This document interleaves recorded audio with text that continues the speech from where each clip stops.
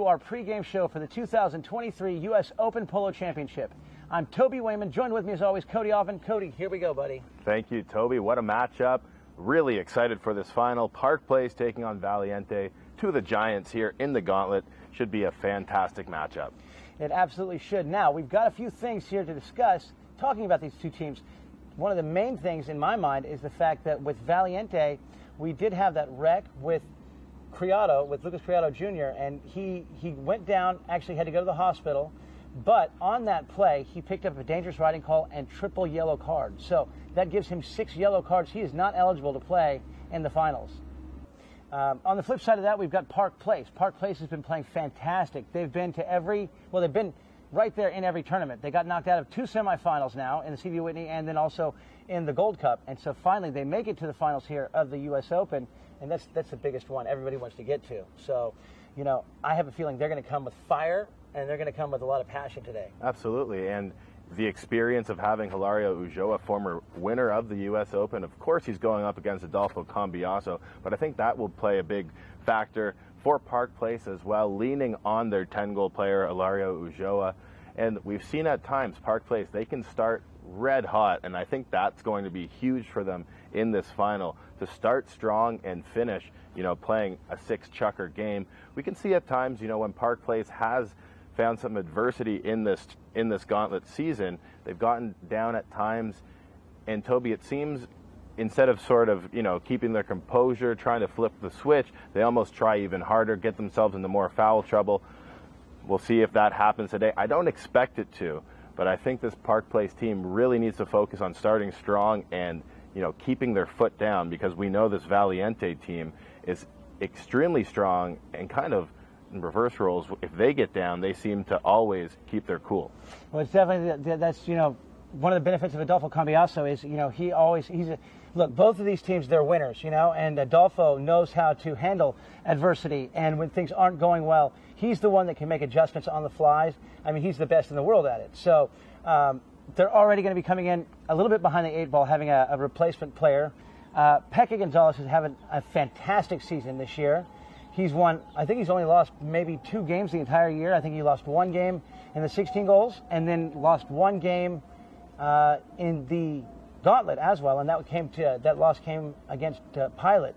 All right, we have two very special guests that are going to be joining us here today. We've got Nachi Viana, who played for the MAG team this year in the gauntlet, uh, that was also known as Shack Attack. And we've also got Fergus Gould, who's the director of the Umpires LLC. He's going to be joining us too during the show. And we're going to have both of them talk a bit about the finals and also, you know, Nachi's experience playing in the in the Open. And uh, we're going to get some more information from Fergus on the Umpires LLC, what they're doing, and get his take on how this final is going to play out. Joining us now is Nachi Viana. Nachi played with MAG and Shack Attack this season throughout the gauntlet. Nachi, thanks so much for being with us, buddy. Thank you very much. Yeah. Well, tell us about your experience playing with this team. Uh, it was uh, such a great experience. My first time being part of the Gauntlet of Polo, probably the best level here. So it was a good experience, learning experience for me. Competing against uh, the best of the best uh, makes you just improve. So very happy to have been competing here. Fantastic. Okay, uh, tell us about the semifinal. You know, you played against against Park Place. What do you think? It's, it's tough to compete against them. Very good organization, strong strong organization. Uh, all the players on their team super well mounted. Uh, it was fun. It was a great game overall. Unfortunately, uh, we couldn't get them, uh, but it was it was fun. You know, you were mentioning how how, how fun it was to play against Ulloa, Hilario Ulloa. Yeah, playing Hilario, eh, it's it's so fun. He he just have that intensity non-stop, and he just uh, he just makes you play in a hurry, you know. Uh, so he gets you in his game, and he just goes and goes. Super super well mounted horses with a lot of power. Uh, so it just makes it great, you know. Good horseman too. We were talking about the fact that you know this late in the season, that semifinal game, it still seemed like, especially Hilario's horses were just still peaking and really tough. Uh, I know you mentioned that as well. He just has so many good horses and he changes all the time. Just speak about that a little bit. How hard it is to keep up with him in that regard. Yeah, it's hard to keep up. He probably has a good amount of good, strong horses uh, and yeah, you see that he does a couple runs and he goes and changes and probably changes from a great horse to another great horse. So he comes on another fresh one, and he again that intensity that he has all the time just makes you try and follow him and, and he gets you in his game, you know.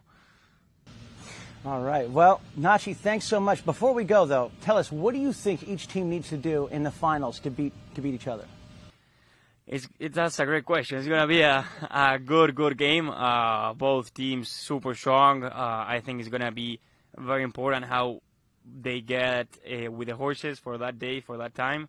Uh, I think that's a key probably, given that it's two teams that are gonna be they're both super strong. Uh, and then keeping concentration. You know, uh, it's a long game. They probably both teams know it, and they just need to keep keep that intensity and concentration throughout the game. We have Fergus Gould joining us. He's the executive director of the Umpires LLC. Fergus, thanks so much for being with us. Thanks for having me, Toby. All right, well, let's dive right into it. Tell us about the program this year. Uh, the program this year, um, I, I, feel like we've made great strides. We had our second uh, training camp, and we actually hosted it here at NPC in January.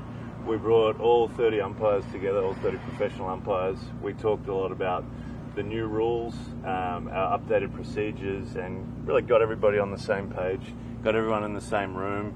Uh, we did a lot of team bonding uh, exercise as well and worked with a, a mental performance specialist. So, know, really taking a holistic approach to umpiring. Uh, obviously, skills on the field and technical knowledge are very important, but also, you know, taking care of mental preparation. And you know, it's it's a tough job. These guys spend, guys and girls spend um, hundreds of days on the road each year, and that takes a toll on, on them mentally and, and obviously on their home life. So, just really equipping them with the skills to, to deal with those uh, challenges that maybe aren't that, that obvious to everybody. All right, now, Fergus, we have two of the best umpiring in the final. Tell us a little bit about the two guys and sort of some of their history in getting to this point. Absolutely. I'm, I was in the enviable position of of having a group of umpires, eight umpires that, that umpired all of the gauntlet. And I really could have chosen any two of those eight to go out on the field today. The two umpires that uh, that were given the responsibility of today's game were Martin Pascual and, and Julian Appleby. Both of those umpires have umpired the Argentine Open final. Uh, both of them have umpired the US Open final before, and, and Julian, uh, one of the most accomplished umpires uh, in recent history, also has done numerous uh, uh, British Open Gold Cup finals. So, I mean, I, as far as I'm concerned, I could have put any of, of the eight gauntlet umpires out there, but uh, you know, I'm certainly very happy with the, with the two that, that ended up uh, kind of earning this opportunity. And how do you how do you uh, make that decision, Fergus, as to who you're going to pick? it has to be a merit-based decision Uh, you know, I think it has to be based on performance. Um, and also, you know, we weigh other factors uh, such as the teams that are playing, the styles that they'll be playing, and, and how, you know, the umpires' communication styles will interact with those teams. So, you know, it's a, we look at more than just, you know, balls and strikes, so to speak, um, calls on the field. We, we kind of try and take a, try and take an intelligent overall view of, of how the game's going to play out and which umpires will be best suited for the game. You know, I always say on the live stream too, it's, it's there's a very fine line between a, a high goal play and a foul. And one thing I do know about these two umpires is I think they are more often than not likely to, to let those high goal plays go. And that's not an easy thing to do because they are on the razor's edge of danger and of, of anything, right? I mean, yeah, absolutely. And, you know, we have a, a little bit of a saying inside of the program that it, it, takes a lot of courage not to blow the whistle. That's a uh, great way to put it. Yeah, and, and in a game like this, you know, we, we really want to not blow the whistle where possible, blow the whistle where we have to. Like I said, keep everybody safe, but everybody's here to watch the players play. Exactly. So, you know, we keep that in mind. What does each team need to do, in your opinion, to win this game? That's uh, that's a tough question. I, I think you know you look at these teams, you you know what you're going to get out of Park Place. You're going to get a lot of goals. They score a lot of goals. Um, you have Hilario who has speed, power, and and what that does is it puts a lot of pressure on the on the opposition. When when he has possession of the ball, you know that he's going to be going somewhere with a lot of intent, with a lot of purpose. He's going to do it quickly, and so you know you you have to be organised in defence. Yeah.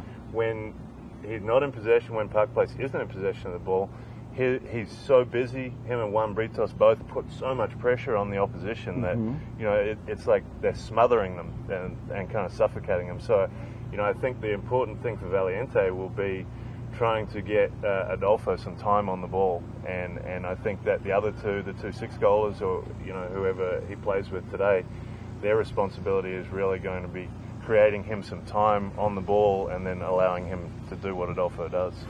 Very good point there. Yeah, and you know the other thing that I, I have noticed uh, with this Valiente team is Adolfo. He kind of you know there's a, there's the, the, expected play, the unexpected play, and Adolfo's the master in knowing when to use that unexpected play. In that maybe he'll he'll bring that other team back to him. He'll hold the ball just long enough to where guys will get a little. Uh, I don't want to say nervous, but impatient maybe. They'll come back to him, and when he does that, there's always somebody open, and he yeah. passes it, and that's yeah. where it seems like this year in particular we've seen a lot of success out of that team. No, absolutely, and you know I, I, I don't think you can overstate the contributions of, of Peke and Luquitas, and yes. you know you have to feel for Luquitas not being uh, available for this game. Uh, he's played fantastically throughout the season, you know, both in the in the gauntlet and, and the 16 goal Super Series mm-hmm. that him and Peke won together.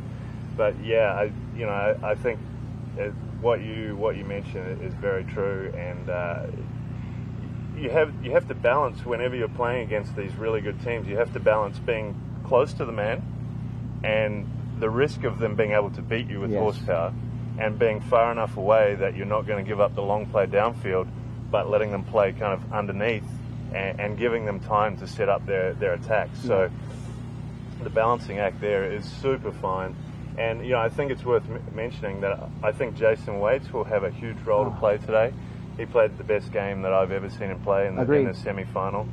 And uh, you know, the, the the two sponsors, Andre and Bob, their their contributions are going to be massive as well. Andre is probably the most disciplined positional player that we, that we've seen in these tournaments. You know? Yeah, I agree. He sits at one when they have the opportunity to hit him that outlet pass. He takes the ball to goal scores more often than not, and that really puts pressure on the, on the opposing team to either go back and make a play on him yeah. or take their chances. Yeah, you really can't let him go because if you do, you're going to give up goals. Exactly. Absolutely. I completely agree with you there. Yeah. And then Bob, he's a very experienced player too. Uh, Valiente, though, this is the first year back for them. They've been they've been away from high goal polo for a few years. Yeah. So I think it's really uh, I think it's fun that they made it here to the finals. They've already won one tournament, you know. So um, yeah, you wouldn't tell they've been away for a couple. Exactly years, right. They didn't miss a beat, and uh, you know, perennial contenders, much like Park Place. So, you know, I think two of uh, two of the best teams have made it to the final. It's going to be exciting. Uh, hopefully, we see an open running game. Um, you know, and that. Uh, that the spectators get to get to see something really fun. All right, well, Fergus, thanks so much for being with us today, man. And, and uh, I, like you, I'm expecting a really fun game. So uh, let's get to it.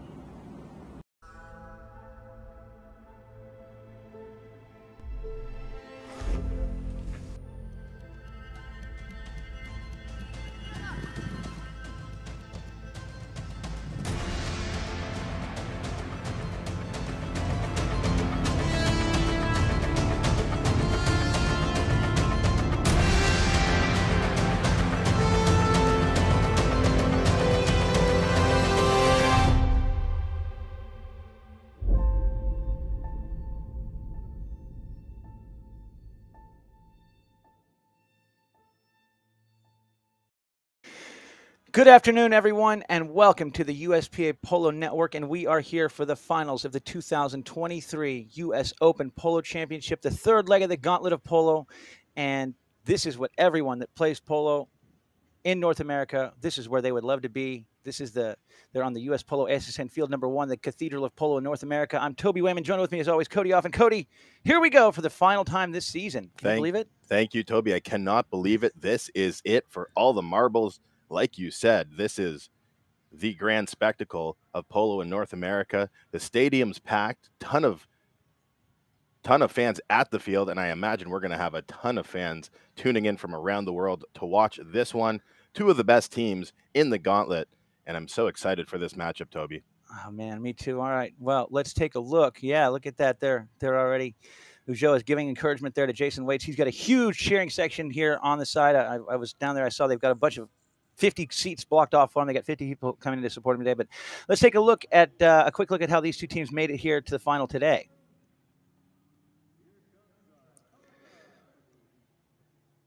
As our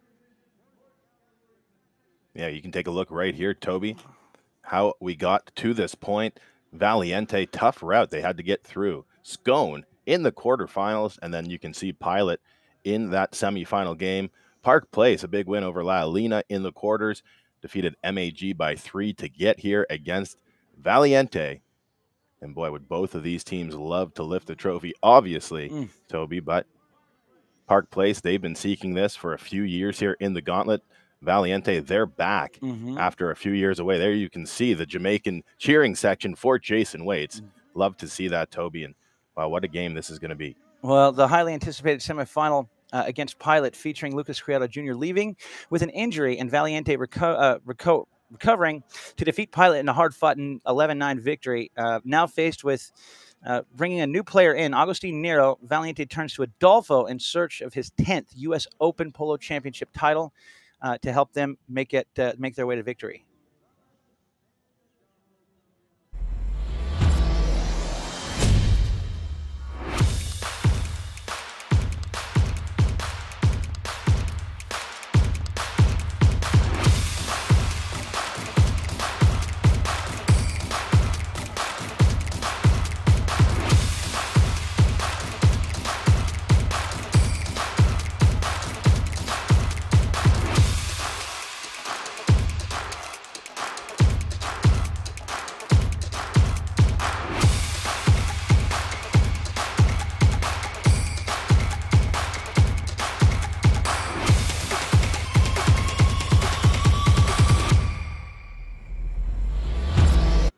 As per usual, Adolfo Cambiaso was exceptional in the victory over Pilot, making two huge steals from Facundo Pieres, leading to two goals, and he helped Valiente get into today's final. With 41 goals on the season, the 48 year old will build on his chemistry with Bob and Peke and Augustine Nero today to defeat a Park Place team that they sent home in the CV Whitney Cup semifinals.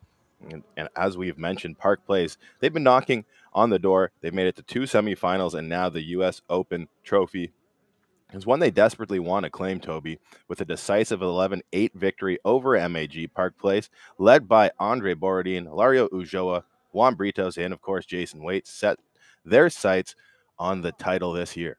Yeah, and Hilario Ulloa, he's been one of the top players this season, behind only Facundo Pieres and, and Fran Elizalde in total goals scored with 84. Uh, last in this position in 2018 with daily racing form.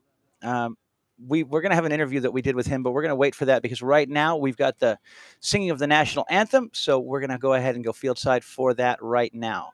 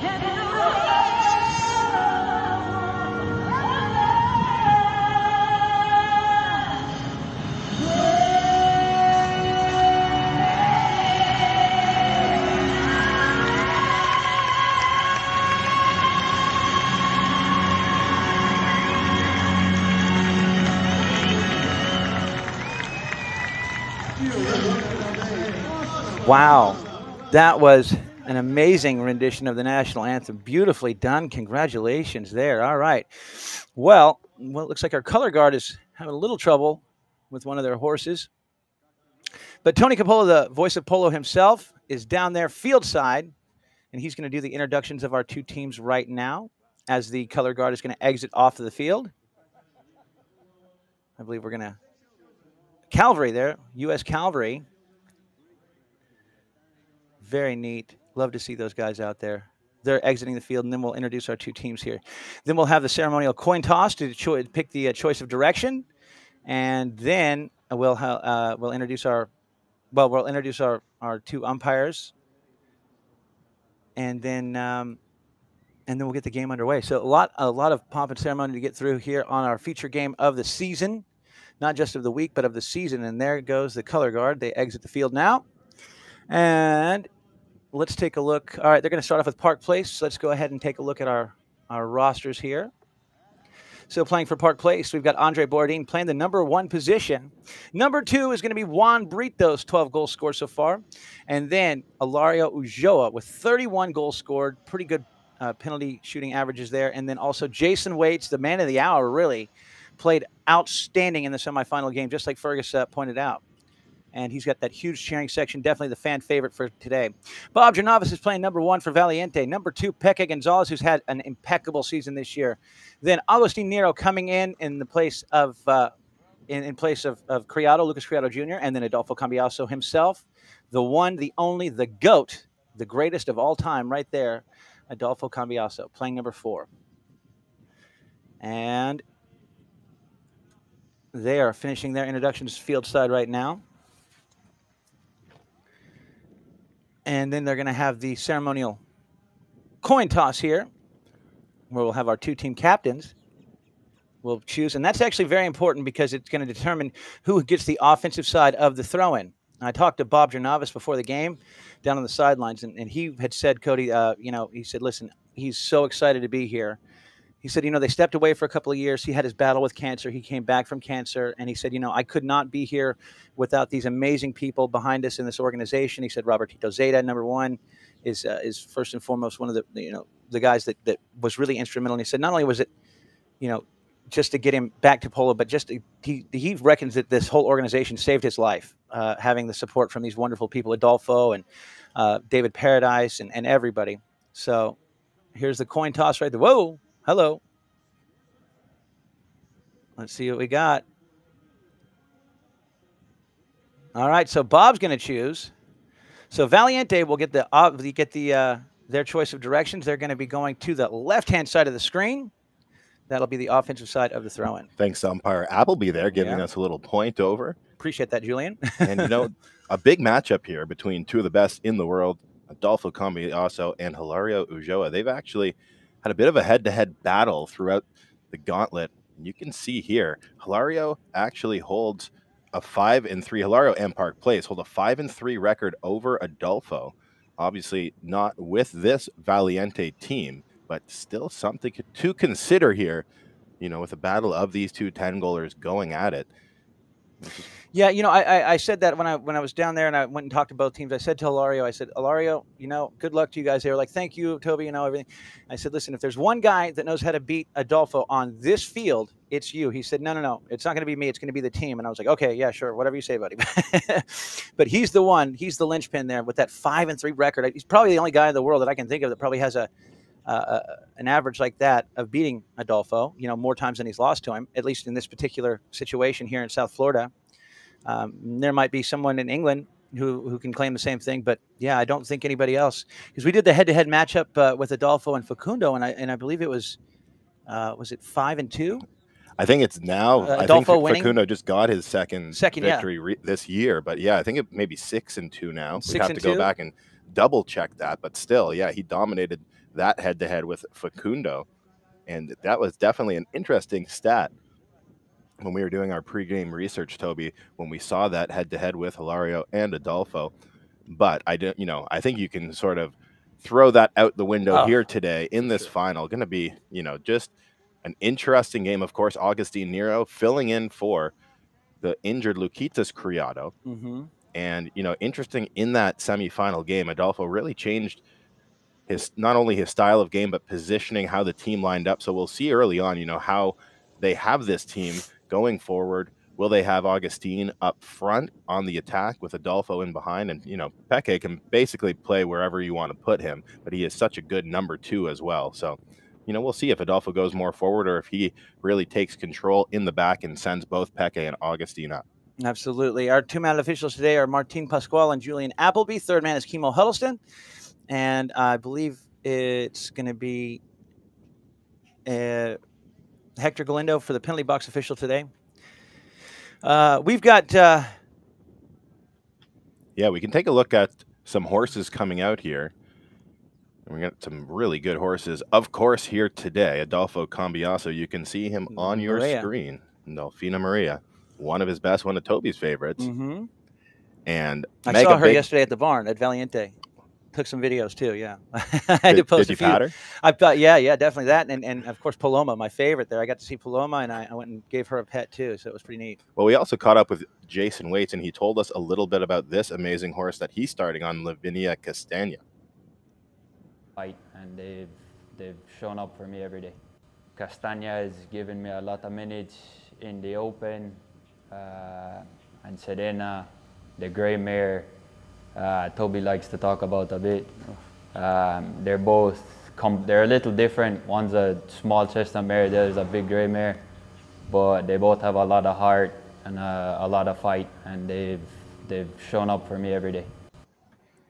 And Fantastic. well, yeah, and Serena, that amazing gray horse we're used to seeing Jason start on, actually was off his list for a couple of games there. I didn't want to ask too much about what was going on, but she is a spare here today. So I imagine we'll see Jason jump on her quite a bit throughout this game. Well, you know, she he's got so much confidence on that mare, as does anybody that's ever played her. She's a team horse, and uh, really just amazing, you know. And then we also, you know, we got um, Ner- uh, Augustine Nero today. He's, he's going to be starting on Ahi there too. That's one of my favorite horses. Yeah, we just saw the two, four, three Yeah, walk off the screen there. and then um, yeah, so and Look then at- Cinco, of course, for for for uh, Peke. Yeah, too. Peke will start on Cinco, which he always does. He has so much confidence on this amazing gray horse as well. And uh, Hilario Ulloa starting on Lavinia Irupe, one of his best and favorites.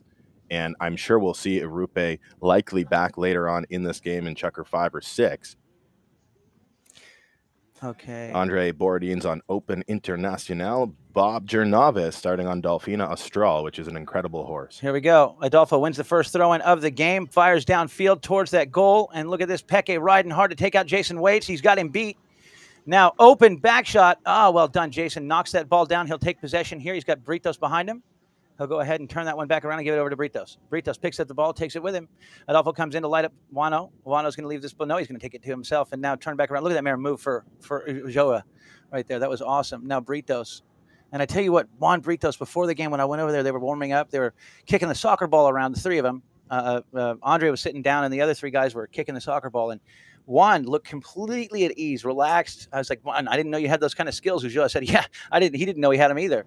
But anyway, we're playing polo right now. Here comes Wano to pick up that ball, taps it forward. Now, taken right here, well done. Ulloa comes in, steals it away. Clean play right there.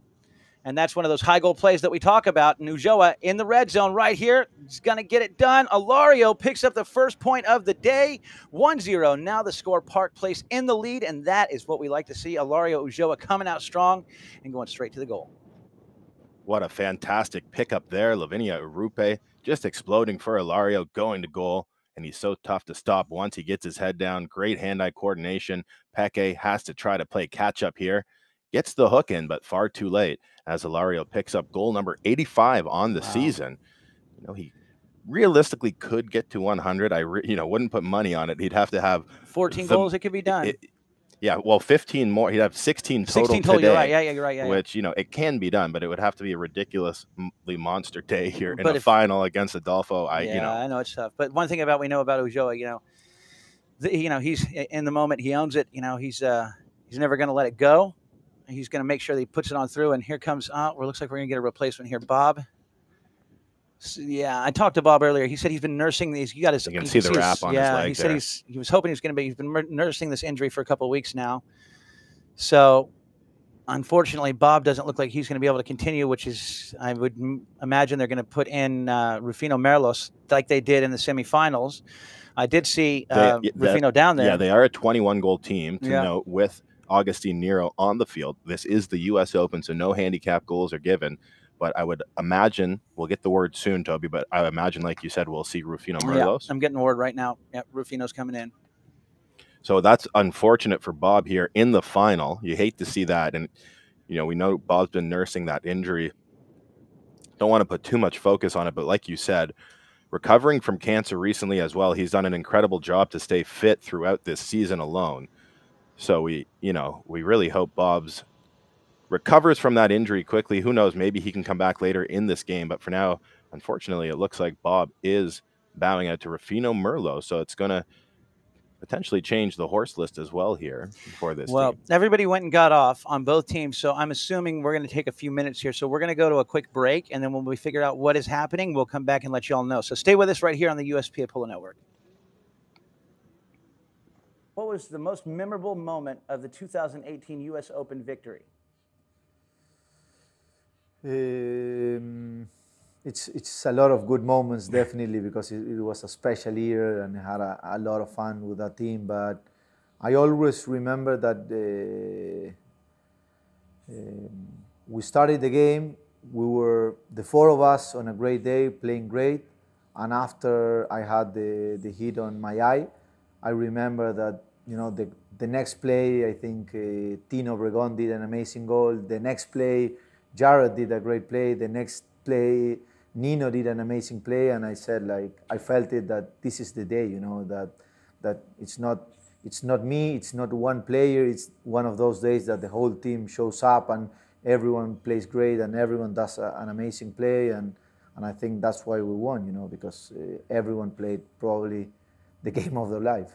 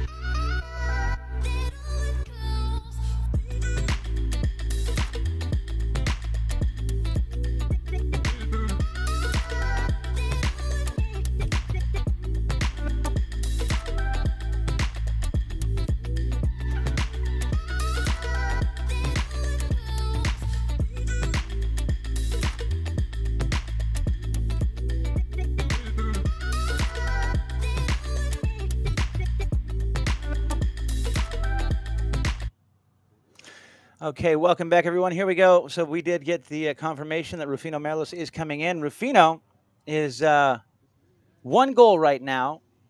He is going to two in May and then three in December. So obviously a very, very skilled young man, and that's going to change the dynamic here for sure against this Park Place team. Now, I did talk to um, Nacho Novillo Astrada, who's the coach for Park Place, and he said, "Look, we have a game plan for for for either way. If Bob stays in the game, great." And he said, "We're not expecting, you know," he said, "We're we're, we're expecting him to, to go either way." He said, "So we have a, game plan set up for both." And he said, "The main thing for us today is we want to stay. We want to play a consistent six chukkers." He said, "We got to stay close to the man. We got to get to them before they get to the ball." Um, you know, because we're only going to get one opportunity here uh, at this at this game. So it's it's now or never. This is it. Here we go. Adolfo wins another throw on the second one of the day. He's going to take off with this one back around to the right. Now Adolfo Cambiaso. He's going to go ahead and hit this ball. Oh, knocked down. Nicely done right there. And now let's see. it's going to be Britos to get a hold of that ball. He sends it down, and here comes Ulloa to pick up the play. He's going to be challenged right there by Nero, and he leaves it behind. Britos comes back to it, and so does Rufino. And now, well done, Jason. Gets in there, takes out the man, lets Brit, uh, Wano have the ball. And look at that. You got uh, Jason trying to get away from the man. He's going to go in here and try to get a hold of Adolfo. Good play by Jason Waits. Takes out Adolfo right there. If he can stay with Adolfo, he's making a 10 goal play. But we get a whistle here. Let's see what they decide to do.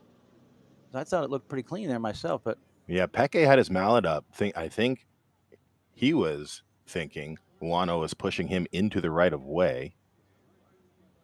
And it looks like that might be the case. Keep an eye on Wano here, green helmet. Peke comes to his left, and he's going to end up riding Peke uh, just into the back end of Valario there. So a penalty five spot hit. Good eye, Cody. I didn't see that one myself the first time we saw it. All right, penalty five. Here we go for Valiente.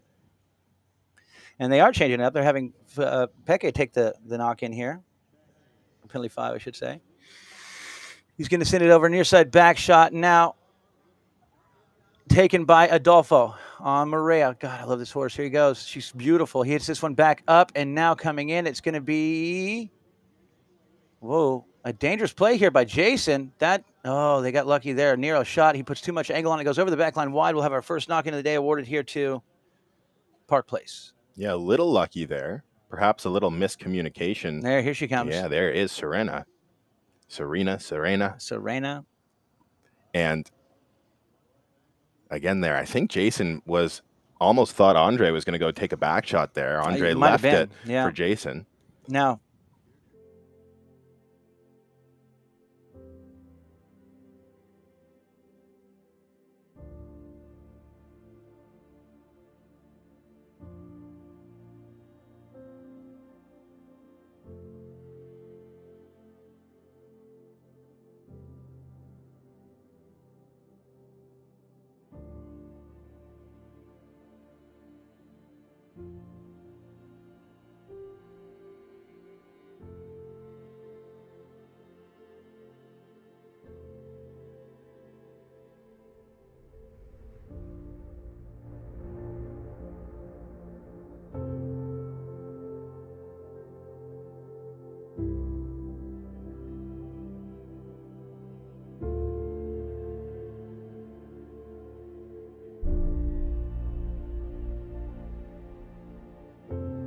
Okay, so uh, welcome back, everybody. We had a, a, an injury happen right there. We had a, a play where, where Peke Gonzalez was uh, they were turning the ball, and and Peke Gonzalez came in behind the the player that was turning the ball, and and kind of horse tripped. He went down, and um, yeah, so we yeah he, he tripped. He went down, and he jumped right back up. He's okay, but nevertheless, that's why we cut away real quickly there. And as you can see, he's up walking around now, so he's fine. The horse is fine. Just want to let everybody know that. Yeah, but, he uh, collided uh, with Juan Britos with there. Britos, Both right. Wano, I think Wano just jumped down to check on Packett, but he was back on his feet right away. Lucky, yeah. happy to say. And like you said, the horse popped up right away as well, walked off the field under own power, looked just fine. So just waiting here. I think Peke is a okay. There you go. That's There's good some good sportsmanship. And yeah, it was just a, a bit of a weird play there where Wano was trying to get that ball turned. It was tough even for us to see if he you know, change the line. It looked like Peke was sort of riding out the line or what he thought was the line. I don't and, even know if it was that. I think that they just want to just change it so quickly. And and Peke right, maybe was, didn't see right. it coming, you know, and just yeah. Either way, we'll have to wait and see here what the officials decide. Correct. As we wait for Peke to get mounted back up. No, it did. Okay. So Nero went over there. Remember, he's uh, Augustine Nero is playing all of of uh, of Criado's horses. And, you know, something else I have to say that I'd love to point out here uh, that I think is a huge feather in both Peke and Lucas Criado's caps here is the fact that Valiente is not giving them any horses at all. They're playing their own strings completely in the U.S. Open. That is something amazing right there. No help from Valiente whatsoever. Um, they are playing all their own horses. Adolfo even said, you know, like you know, that's amazing for them. Congratulations to them and to their to their fathers for working so hard to get them mounted up. But um, uh, that's something that I really wanted to highlight here is that all these horses that we see, both those guys, well, that Nero is playing and then also that Peke is playing, they're all their own horses. And when we talked to Peke earlier in the season, he said, uh, you know, this is the best year he's ever been mounted in his life. And, uh, and well, I mean, obviously it's shown. Uh, Absolutely. Playing here and in the 16 goal. Yeah. And, you know, I was actually talking to you, Toby, before we got on air about Peke's list today, he has six different horses. You know, a lot of these top players, and like we normally see in Peke, they'll have their, you know, chukkers one through four, and then they normally start on somebody back in five and six. He has so many good ones right now, and they're all going so well right now that he's starting on six different horses. I'm sure we'll see some of those horses as spares early as he gets back. But like you said, just a, a feather in the cap. And the matter of the fact is, you know, if they didn't have enough horses going well enough, I'm sure Valiente would be wanting to pass some horses. But like you said, and like Adolfo told you, these kids have just been so well mounted this year. It really is. It's it's quite amazing. All right, so we're waiting for the call to come in. All right, we get a yellow card. Dangerous riding. I'm not sure who it's going to be against yet. It looks like Britos. Interesting. And, and Juan's like, me? How's it on me? I kind of agree. I well, I don't know. We'll see. It was a tough one. I think you know we we didn't have the best angle of the replay when we were looking at it there off air. Yeah. I think they're gonna actually hold There- on. you know what? There might be a yellow on. Maybe it's Yep. offsetting. Okay, so it's offsetting both two yellow cards, one against Britos, one against Gonzalez. so right of way violation. I think yeah. Wano didn't perhaps just turn the change the line too quickly, and then any anyways, it looks like a yellow card. Yeah. Well, we'll get confirmation when we get more information But about offsetting it. But right fouls now, yeah, essentially, yeah. So here goes Britos. He's going to win this play. He takes off running. Wano, he's in the zone today. You can tell. And look at a great job there by Jason Waits staying with the man. Britos now gives a pass up here to Ulloa. Ulloa breaks down the right. He picks up the ball. He's going straight to the goal. Gets away from three players. Drops that ball, but Britos is there to pound it forward. And here we go. Ulloa on the break. He's out in front. Nothing but green between him and the goal. They can't stop him. Man, right now, Ulloa, he's not going to miss. I can tell from the approach. There it goes. It's straight on through. And we got a 2 0 ball game right now. And Ulloa is on fire. And these guys are playing lights out here early in Chukker number one. Quick change, something that that Nachi Viana mentioned to us pregame is how quickly and efficiently Hilario changes horses. He's always on a fresh one. What a run again, right here, head down to goal. Some of the best hand-eye coordination in the world. Hilario Ulloa makes it two to nothing. All by himself early on in this game. Great start here for Park Place. What an amazing play. And Adolfo says, All right, here we go. Got to get on the board now. He's going to win this throw, and he breaks right back down the right hand side. He checks up here. Now, Adolfo Cambiaso holds that ball. Now, Adolfito is going to come back to it here. Ulloa is there. Ulloa lays a hook on him. Ulloa. And now Adolfo gets in the sword fight. Now it's going to be Peke to come up with the ball. And we get a whistle stopping the clock once again. No, we don't. We don't show it. Yeah, we'll wait and see what the officials decide here. Looks like a pending penalty four here. For Valiente riding in from behind. Huh. So they're going to catch Hilario here riding in underneath Adolfo. So penalty four awarded here to Valiente and Adolfo Cambiaso.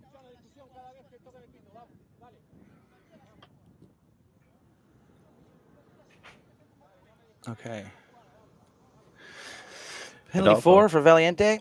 Another one of these days, Toby, you can sort of throw previous stats out the window because it's do or ah, die time here in the Look final. And yeah, and that's the thing. Like I always say, when the game's on the line, winners want the ball. Well, one thing we know about Adolfo, he is a winner, and he is gonna he's gonna score those goals when he absolutely has to. He's gonna make them happen, and, he, and that's what we just saw right there. So now it's a two-one score on the board. We come back to center for a throw-in. And Adolfo, he has an incredible eight for 11 penalty four record here now in the gauntlet. Just Unbelievable. Incredible from the 60. Ulloa wins the throw-in, keeps it away right here from Rufino Merlos. Now Ulloa gets hooked there by Rufi, and now it's going to be well done, Andre. That's the way. Andre Borodin gets that ball, but it's going to be picked up here by Ujo, uh, by uh, Adolfo. Adolfo. Now he's got Britos there to put him in the pocket. He's going to turn it back to the right because he's got Peke there to lay the pick for him. Peke is going to give him that time, then takes off running for a pass right here, and Adolfo's going to hit him on the fly right down the middle. Here comes the shot to Rufino Merlos. Merlos takes a shot towards the goal, and here goes Andre Borodin to take him out. Andre is going to go to the ball, and so does Ulloa. And this one's going to be close to the back line, and Andre going to leave it here for Hilario. He turns that ball back. Hilario, whoop, they ride in. Interesting. All right, now, well done. Good play there by Jason Waits. If they don't blow the whistle, he's going to keep on playing the game. And here comes the shot. Now it's going to be Peke gets that ball, turns it to the inside here, up on the handlebars. Whistle.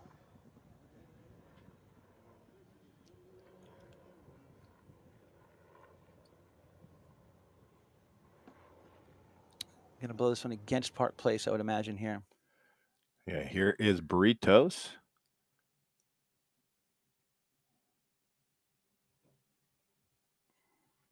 And I think they're catching him right there on a right of way violation. Penalty number two upcoming for Valiente. Aye, aye, aye. That's the one thing that we've seen Park Place struggle with over the years, and, and I and I do mean years is is that uh, you know they're, they're such intense, aggressive players that they have a tendency to get into some foul trouble. They're what are they uh, in fouls committed? Cody, refresh my memory here. They've done okay this season. Season though, they're right around the middle, ninth overall. Okay, all right, so not too you're, bad. you know, in the past couple years, you're right. They have been up near the top of fouls committed, so they've cleaned that up a little bit this season, All right, Peke, especially here. that's going out. Look at that. Oh no, Wow, you could tell the way he took that swing. That was going out. Wow, Peke Gonzalez missed a penalty too. Is that the first one he's missed all year? Peke Gonzalez. I believe it is the first penalty two he's missed. Let me just double check that for you. Yeah, he was actually perfect on all penalties. One for one on his fours, two for two on threes, and now six for seven on his penalty twos. You know, a big moment. You not you don't expect that, uncharacteristic from Yeah. Peke Gonzalez, but Lucas Criado Jr. has been taking mostly mostly all penalty twos and threes. We've seen Peke step in when Criado's been on maybe an uncomfortable Sure, horse. sure, yeah, or changing or something. Yeah, exactly. All right, here we go. Here's the knock in. Britos is there to pick up the ball. He's got Agostinero coming in. Back shot made by Adolfo, and now it'll be picked up again by Britos. Wano, look at that. Look at Jason doing work right here, taking out those defenders, letting his guys have some time that they need. Here comes Ulloa to pick up the ball. Peke is there to put Ulloa in the pocket. Ulloa trying to find a place to go. He's going to leave the ball now for Britos. Britos, they play off of Britos a little bit here. He'll pick it up on his near side. Wano turns it back around to the right. Man, I tell you what, you can tell he feels confident here today. Jason takes it forward, back to the inside. Well done, Jason. Good play right there. And now Peke has to get out of his way. Ulloa comes back in. Jay, Jason did a great job there of just being a placeholder for the ball and letting Ulloa get back to get the ball picked back up, and now takes off running with it right here. Now Ulloa working down from right to left. The funnel effect comes into play as he breaks back towards that goal, drops it there. Next one to get to it, gonna be Adolfo Cambiaso. Good play right here by Rufino Merlos. Now coming in. Let's see. It looks like we run out of time. So the score stands two to one at the end of the first. Chuck or Park Place in the lead. Pe- Valiente had their chance, but unfortunately they were not able to put that penalty two on through. So that could come back to haunt them later on in the day. But we'll be right back after this quick break here on the USPA Polo Network. playing for Valiente Polo team, and I'm from Argentina. Uh, The difference between playing with Scone in 2021 and Valiente this year, uh, honestly, it's not much of a difference. Obviously, I'm playing with uh, Negrito instead of Poroto and with Bob instead of David, but uh, it's funny because the the people around each team is kind of the same. So it was the same as when I played in Scone in 2021. So it's kind of the same atmosphere and we hang along pretty well with each other and we play practice games together and we help each other a lot so it's kind of kind of a similar feeling honestly uh, to play now with Valiente than what it was with playing with Scone at that time. Uh, one of the most important things that I learned playing with Adolfo was uh, is uh, the horse management, uh, how to put them in training, how to prepare them for each game, uh, how to make the horse list probably uh, for each game. Um, and then polo wise, you learn a lot also how to make each play, which play you have to make in each moment. And when you make a mistake, he comes and tells you the mistake to improve, no? Not a, not to, to tell you something bad, but to, to make you a better player. So every day you learn, every practice you learn, uh, and game by game, I think he gives you a lot of confidence to, to keep improving, no? and that's amazing. I think Park is uh, an amazing team. Uh, they have really good players individually, and I think they're playing really well as a team also. Horse-wise, they're amazing, probably one of the best teams organized. Uh, so I think we have to to be sharp on them, uh, be the closest we can to them, because if you give them a little bit of space, they will run you like nothing. So I think it has to be a really close, close uh, matchup between all the, the players. Uh, keep an eye on, on Hilario and Juano, that they're really, really talented. And uh, uh, try to play as close as we can to them because they're amazing. Okay. So welcome back here to the USPA Polo Network. Check that out. We've got uh, there's the Jamaican section there cheering on Jason Waits. I stopped by and said hello to those people. They said they have 50 people coming in here for Jason. Let's check out his uh, his feature here. Well, look at this. First Jamaican to compete in the U.S. Open Polo Championship. And as you mentioned, there's about 30 Jamaicans who flew up, you know, in pretty short notice just to come watch Jason here today. Here's a cool picture. This is 10 year old Jason Waits representing Jamaica against Newport in 2001. Look at that. That's so cool. And here is young Jason Waits with Adolfo Cambiaso. So playing against one of his heroes today has uh-huh. to be super exciting for Jason. I'm sure he's very proud to represent his Jamaican heritage as well. This is great. We had a comment coming in on, on Facebook. It says it's from Kathy Coors. She says, "Jamaican me crazy." Coors uh, triplets uh, field side. So Jamaican me crazy is there field side right now. You can see them. That's so cool. Yeah, they said they, somebody said there's 50 people, not just 20, not 25 or 30. There's 50 people that came in to support him here. So that's awesome. Well, we'll talk a bit more about these horses in a moment here. One I wanted to mention is MC Alexis Ren for Juan Obritos. He's been playing her as a spare. She actually started with Jason Waits, yeah. a Park Place horse, and she's been going just lights out for Wano. So good. He's starting on her here in the second. I imagine we'll see her back later in the game as oh, well. Oh, for sure. Now, here we go. Ball's back in. It's going to be Ulloa coming out of there with control of that ball. Gives it over to Jason right here. Jason looking for the whistle, and he might have just, let's see. Well, we got a whistle here. Looks like Jason might be hurt. Well, Just as like we were singing that. his praises. Yeah, it looked like he dropped his mallet as well, so taking something off that right arm or hand. So this horse here that we've got uh, Adolfo on. Remember, this is this is Squirrel, right? Uh, that Adolfo's on. Um, I forgot to mention this last time we saw Adolfo play, but this horse was made by uh, Bob. Bob uh, Jornayvaz reminded me of this.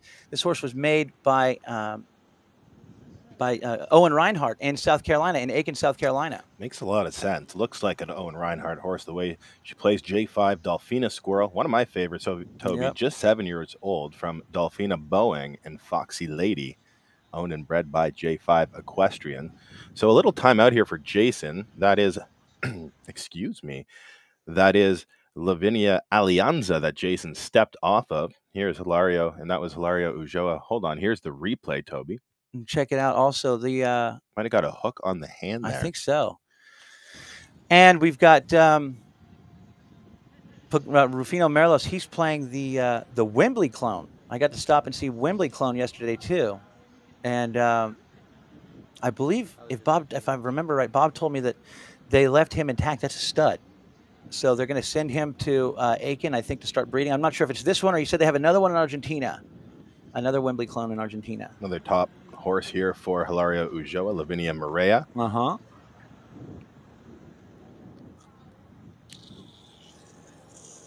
And hopefully Jason's okay. Yeah, I think just a hook on the hand there potentially for well, Jason. That's exactly how we lost Colo Gonzalez in the beginning of the year in uh, in the 16 goal. Got a hook on his left hand, broke his hand. Mm-hmm.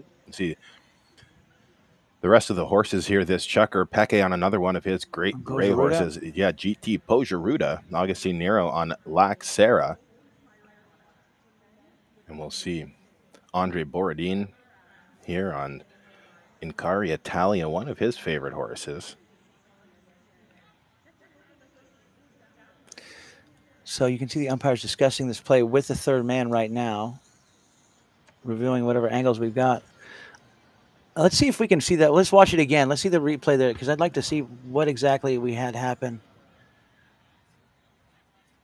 Okay, let's yeah, keep a close eye right here. Watch Jason, that number four in blue. And I think it's Nero here in the blue helmet coming in. Makes the hook, but yeah, and I don't know if he made the hook and an injury occurred, or if he caught a piece of Jason's arm. It was tough to see. It didn't. It looked like he was too far away to me to be able to actually make contact with, with his arm. Hand, yeah. yeah. unless it's a cross hook. There is what they might be blowing. Well, they might. Yeah. We'll and if so, here. he could have. That could have hurt his shoulder then. In which case, you know. You know, either way, if you get hooked hard, sometimes it can just rattle. That is a cross hook. So Jason's still getting checked out here. But I tell you what, that's uh, I mean that my my dad that kind of that's a play that ended my dad's career, high goal career was uh, he got cross hooked uh, and it tore the rotator uh, cuff off the bone. Yeah, it did look like from this angle for sure. Nero maybe not all the way across the back end of Jason when he made that hook. Mm, mm, mm. We will see though if what the umpires decide. I think they're waiting for Jason to be checked out and mount back up here. It doesn't appear like he will be leaving this game. I don't No, think he's even leaving the tough. field. He, the, even if he was, even if he was totally hurt and broken down, he couldn't leave with all his fans in the sideline. There's no way they wouldn't let him. The, the, the Jamaican me crazy fans would uh, would eat him alive if he left the, if the field at this point. I think. So yeah, indicating we just saw umpire indicating a a, a, a hook. It looked like, or a, you know, a swing. We'll f- wait to find out. Stacy Galindo says cross hook too. Yep. Yeah, let's see here. Jason back up in the saddle. You never know. This opportunity may only come once in a lifetime for a guy like Jason Waits. It's so true. It's very true. you never know. I- You know, we've been talking. We talked yeah. about it a lot with other players, and don't want. I don't want to say anything, but just seems you play in a position like this with Park Place. Usually, your handicap goes up Uh, after That's true. season. Yeah. I mean, yeah. So you know, you gotta you gotta seize that moment, and you know, or else you're you know, who knows what can happen. Here comes. You know, when are you to get another opportunity? Here comes the shot. Now it's to be taken right here. Looking good. Shot at the goal.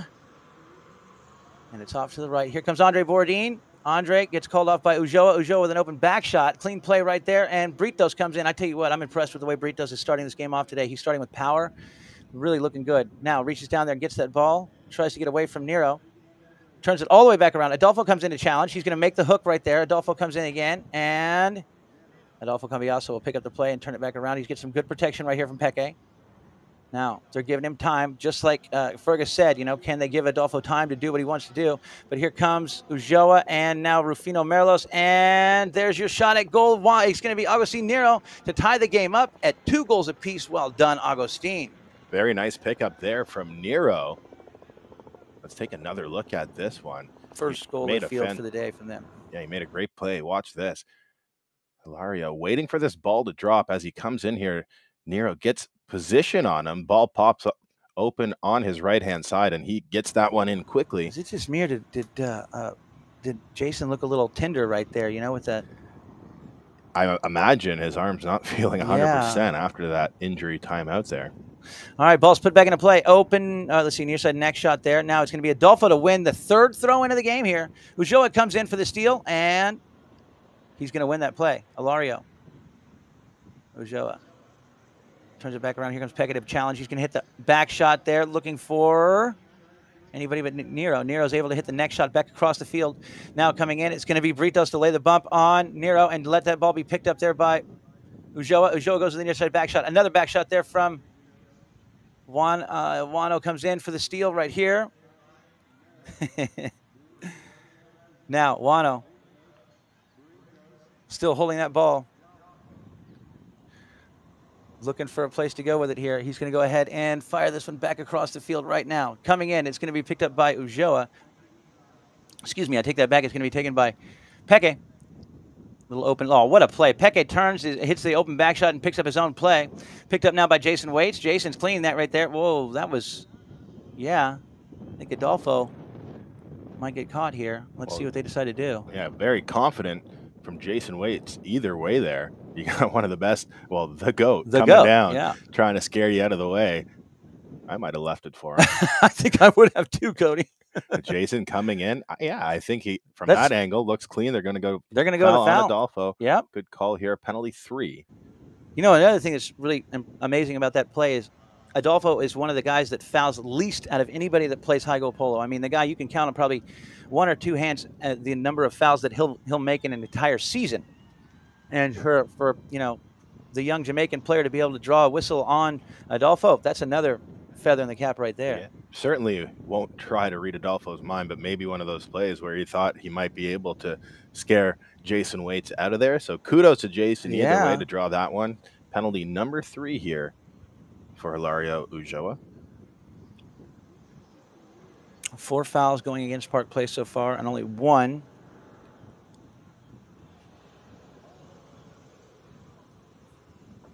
against uh, Valiente. Excuse me.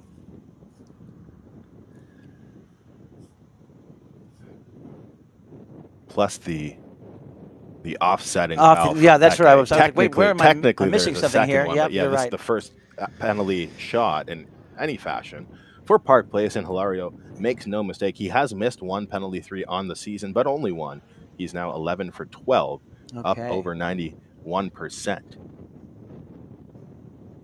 So we have a yellow against uh, Peke and against Britos. You're right about that. I forgot about that one. Thanks. Was like, Yeah, we I'm didn't missing have. one they somewhere. did. They did update us and tell us that there was a yellow on Peke as well, which we Yeah. thought, but we didn't have that information, until yeah. now. So we can tell you Wano and Peke both on a yellow card. Here comes uh, Nero. Takes a shot at the goal. Oh my goodness, Nero lets that one get away. He's all by himself out in front. Oof. Yeah, You got to own it right there. Yeah, tough, tough miss there for Nero. That's you know what they're going to look for in Nero. I think in this game going forward, he's a very good attacking player, up and down, open style player.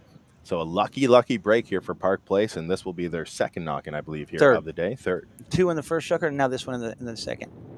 Now here comes Britos. He's going to go ahead and fire that ball for a give and go, looking for Ujo, but he's covered up. Here comes the pass up there, and it looks like it'll be Nero to come up with the ball. He checks down right here.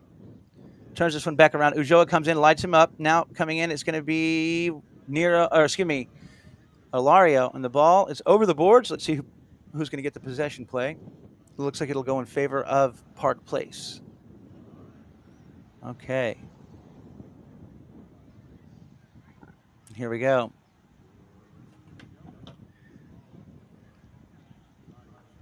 Now, Britos. They've got Nero waiting with Britos, playing off him a little bit. He's going to hit this one back to the center, where it's going to be picked up right here by Adolfo with a neck shot.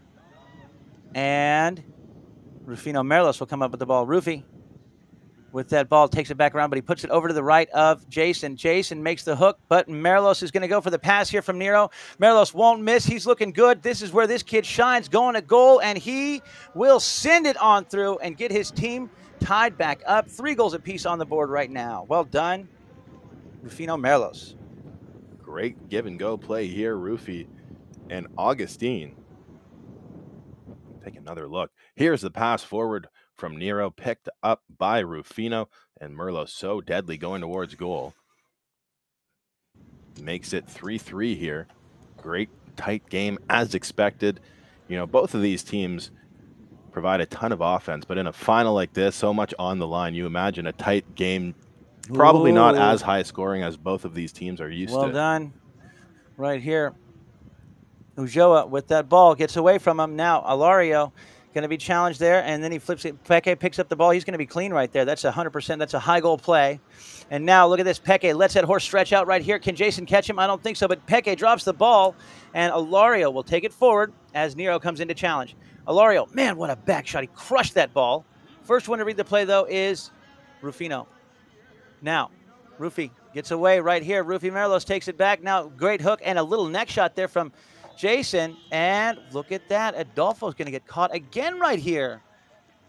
Ooh, you don't see that happen very often at all. By the way, Adolfo told me, he said, uh, David Paradise is down on the sidelines at the Palancas there, and he said that they're going to be leaving tomorrow to go to Australia for that uh, for that deal that, that um, David's putting on for them. Take What another look. Look at that neck shot from Jason to set up Hilario, and very obvious from that angle. Great look from the drone, and this looks like it'll go down to at least midfield here. Uh, they, they haven't said where Oh, yet. some Oh. rain coming in here, Toby. Look at that. Oh man, Looks pretty. Looks like some pretty big raindrops. I don't know if they're going to call a quick timeout here to see if nope, they're going to drop They're this ball drop it. down, and it looks like it's going to go all the way to A penalty four. number four. Wow. Going across. I'm surprised at that. I You think know, there was not. the Yeah, I just don't think there was a lot of anybody back really. So an appropriate call. Hey, as long as they're consistent. We actually talked about this with Fergus. You know, we'd rather see it. You know, if they're in between penalties, you know, if they can't really decide if it's going Yeah, to be a four or five, they're going to make it a four. And But and it, you know, it's going to be even for both teams throughout the game. And I think as a spectator, you want to see more offense than not, Toby. So here we go. Hilario on the 60 yard line, one area he's struggled a little bit from this season, just 40% shooting. But again, you can sometimes throw those stats out I the window. yeah, it's the U.S. Open Is that final. hail, Toby? It It sure looks like it. You're right, huh? hot and heavy out there. This could affect the penalty shot as well here for don't know. Hilario. We'll see. Here comes Ulloa. Yeah, he's got it. Hilario, no trouble, sending it straight on through, picks up the point, breaks the tie, takes the lead, makes the score four to three here in chukker number two. And we are down to one minute left to go here in this chukker. And uh, I would imagine that they might let, you know, after the chukker's over, they might give it a few minutes and see if this, this rain passes by because there's the sky doesn't look like there's a whole lot uh, rain clouds around the, around here though. So 48 seconds left. Well, what are we doing here? 43 seconds that go on the clock.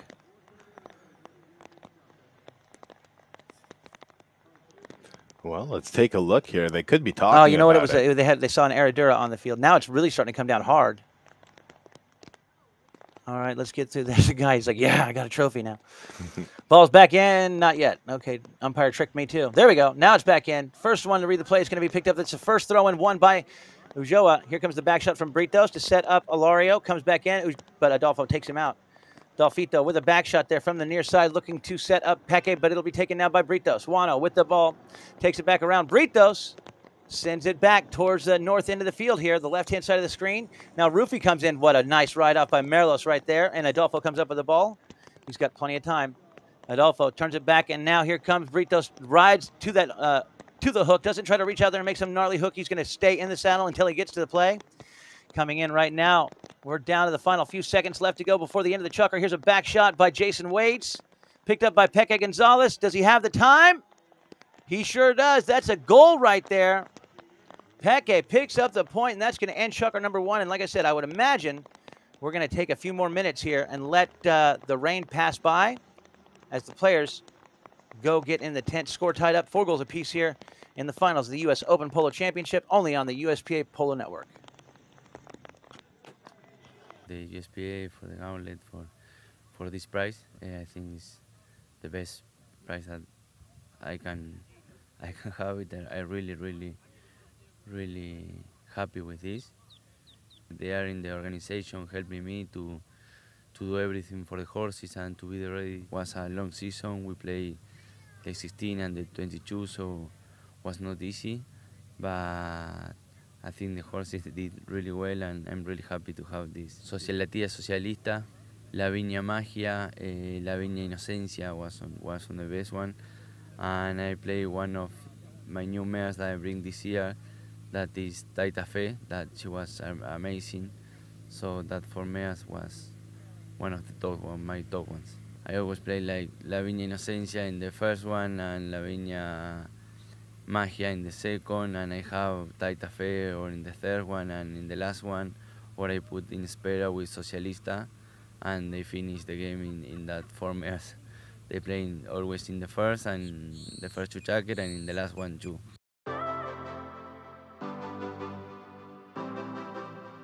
Elizalde back on that little bay horse. He is gone right now. Buzz blowing the doors off of everybody. Elizalde shoots at the goal. No way. What an incredible play right there. Elizalde. Absolute racehorse, Toby. What a goal. What a run here. Tocolino was coming in maybe looking for a foul, but he was going maybe a third the speed of Elizalde.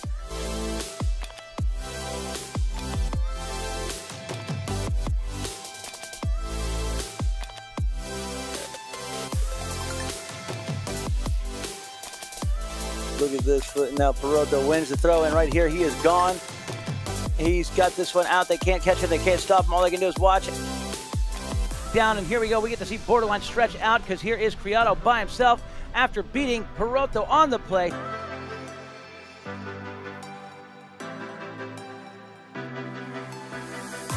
Poroto Cambiaso can't be stopped right here. Jesse tries to take a shot at him. Not going to be able to get there.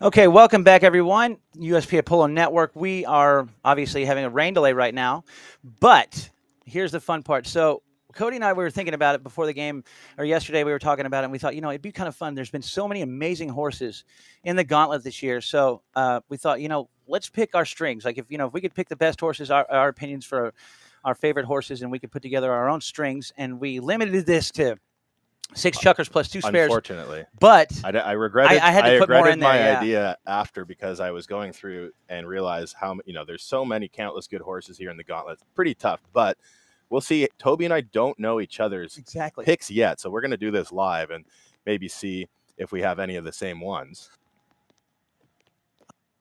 So we'll see here. We tried to do this, and Toby, you told me you thought I was going to pick Mega Big Bay, so you purposely didn't. That's I- right. I love this pick uh, for you, Open Irani. Yeah. But this, we're also thinking about how we would play the, these horses as well throughout the game. So this is, you know, like Wano likes to do. I would start on Mega Big Bay. Mhm, mhm. I I put mine. It says I had a tough time figuring out where I'd put each horse. I just know that these are the ones I want to play. So I didn't. Uh, I didn't. I didn't. I didn't put them in any order myself. So okay. I go. thought of, I mean, the, here's the thing. That's you fine. Could, you could kind of play them all any chukker. See that squirrel. I that was another one that I was like, mm, I was him and Han over. So Yep. good, good call there. Of course, you know I'm going to take I, I, I had a feeling you were going to go with Paloma too. Obviously, an honorable mention for me. She didn't make my list. You know, That's I- all right. A little, a little tough to be completely honest.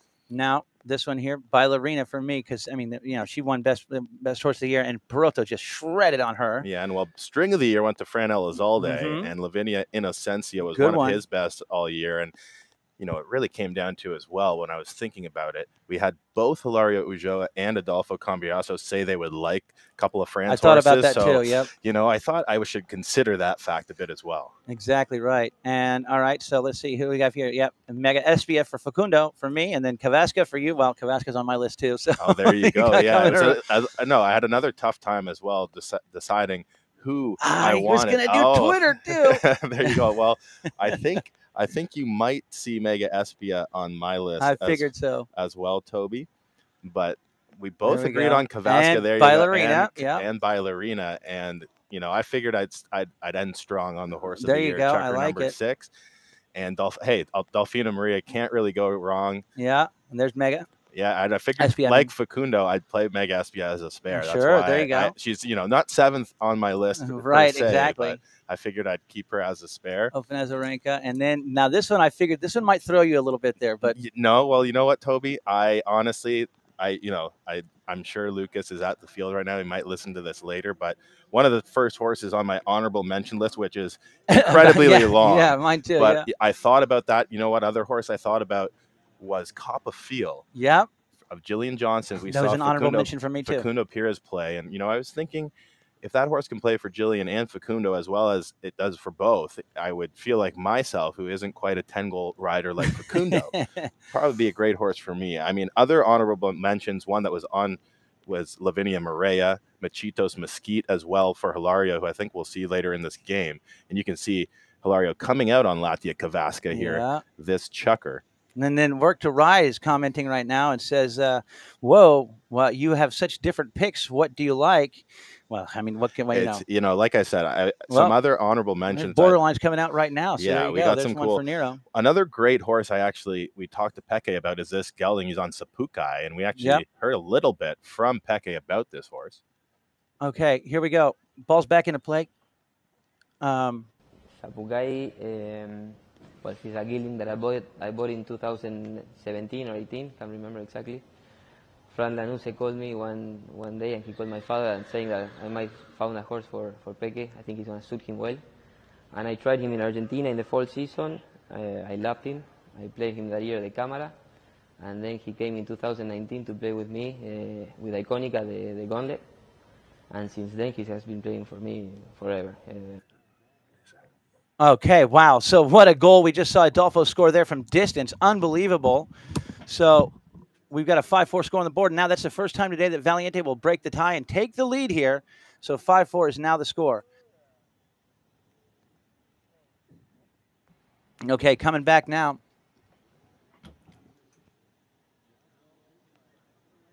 Here we go. Now it's going to be Adolfo Cambiaso to win another throw in here. I think he's won all but one throw in so far. Ulloa has won one, maybe two throw ins, uh, Britos and Ulloa. Now, Adolfo holds that ball. He winds up. He fires back down towards the goal. Britos lets it get away from him. Coming in, Peke jumps on that loose ball. Oh, somebody missed their man right here. Peke is going to make him pay for it right now. Peke oh, no way. Off the post. What bad luck. And then Ooh, yeah, good call. Well done, Juan Britos. Incredible situational awareness here from Juan Britos. He saw Agustin Nero coming in to make that near side back shot. He knew there's no way that Nero could not fall over the right of way after the shot. So he just checks right here and lets and lets uh, Juan, and lets um, Agustin Nero create this foul right there. Yeah, great play by Juano there. What unlucky, uh, lucky break for Juano, unlucky play for Peke on Sapukai, like we were just, he was Sapukai. just telling us, Sapukai. And you know, he mentioned to me as well. He calls this horse his war horse. Bought him 'cause as a used to play green horse he's playing, and yeah, the horse played pato, which is an incredibly tough sport they play down in Argentina. Yeah, he was saying that you know when the horses when they start playing pato like that, he said they they really learn to be because it's it's so rough the game you know bumping and riding off. He said they really he, the horse learns how to be stout and solid. So Nero right here on borderline. Now here goes Ulloa. He's going to bust past everybody. Going to blow the doors off of Adolfo right here out in front. Look at this. Keeps that one away from Adolfo, and we've got a tie ball game. Ulloa playing every bit of ten goals here today. Incredible play right there, and that's going to be his fifth goal of the game. All goals scored for Park Place have come off the mallet of Hilario Ulloa so far today. You talked about it. You had a feeling Hilario was going to show up here. Oh I'm- man, I feel like we all did, but another fantastic goal. Hilario just so tough. He gets just barreling towards goal, has that great hand eye, so tough to stop. What a game back and forth we go here. Five Mohammed goals, nine more for Hilario. He can reach 100. Yep. Mo- uh, Mohammed says uh, one more spare would be Exclusiva. Exclusiva was definitely on my list, and Cody, I'm sure, yeah. you I- too. I, I'm mean, sure. Exclusiva, Mega Progressiva, Can Yep. Fly from Keko Magrini. I mean, amazing. Yeah, a bunch of them. There. Aloe Vera Indahena, who we're going to see for Wano later Yeah. on. Hey, with the list. Look at Peke right now. He's going for it right here. Peke down in front. Can he get it done? Open back shot to the goal. Oh, well done, Jason. Way to be there. What a play. Jason Waits, goes all the way to the road. But because, look, we got some rain, it's a little slick. I like what he did right there. He didn't try to bank back around and stay on the field. He just went ahead and went straight across to the road. Didn't let that horse get a chance to fall because, you know, it is a little bit slick after the the- the Certainly rain. not getting run away on. No. Now, knock in the fifth, fourth knock in of the day so far here for Ulloa and for Park Place. They've got Agustin Nero starting with the hitter. Remember, Adolfo was going to the hitter there for a while in some of the, in some of their earlier games. Now, a great knock in here to Britos. He's going to have Ulloa taken out. Whoa. I'm surprised you didn't see something there. Now it's going to be Britos here. He's going to be put in the pocket by Peke. Peke trying to get to him. Britos caught him flat footed just for the moment there. And now it's going to be, man, Awano's playing fantastic today. Back shot here to Ulloa. What a play. Look at this. That is fantastic. I love that. Power polo right here. Ulloa winds up, puts his whole body into it, sends it down here for Jason. Jason takes the hit from. Uh, nice try there. Now, good job by Rufino Merlos. Ulloa right there with Adolfo, and now it's going to be Jason to let the ball be taken here by Britos. Britos goes ahead, goes to run past those defenders. Britos looking good, avoids the hook. He keeps it going, swings through the hook of Peke Gonzalez. Can't quite keep it going. Next one to get there is going to be Rufino Merlos. Drops that ball. Ulloa hits the back shot, and Adolfo comes back up to it. Adolfo loses the play right there to Juan Britos. Juano with a tail shot right here. Look at that. What a shot. Sends it back towards the goal. Coming in, it's going to be Peke there. Peke with the with the play. Peke gets to it. Peke Gonzalez banking the turn now gets out of there and now he gets this ball moving down the field. And one thing we know about both these teams, and especially especially Peke right here. Uh oh, they're going to catch him. It looks like. The one thing that we know about both these teams is they are open, hit and run kind of teams. You're not going to see a whole lot of messing with the ball. Uh, what we saw there, where they got bogged down just a bit uh, about a minute ago, was was about as much as you're going to see as far as tapping goes. These two teams, they hit, they run, they play open, classic style polo. I think they're catching Peke on this. yeah, they are. They're going to catch him for taking the coming ball on the wrong side. Yeah, Yeah, he didn't make contact with Britos there. that's what I'm thinking anyway. We'll see if that is indeed the case. So umpires are talking about it, and perhaps we can take another look at it ourselves here while we wait for the call. But from that initial angle, that's what it looked like. We'll we're just speculating, of course. We'll wait and see what our two managed officials decide. They could be talking about the foul or ball placement. Uh, well, they, yeah, I mean, as of now, I mean, they they they've blown it against Peke. I wouldn't think there'd be much of a ball placement issue to be spot hit. So it would be whether or not they believe that there was a foul on the play, which it seemed like it was. Maybe they, you know, maybe they will move it up. I don't know. We'll see. Or, yeah, penalty five from the spot. Okay, that is going to be the case. What did we just see?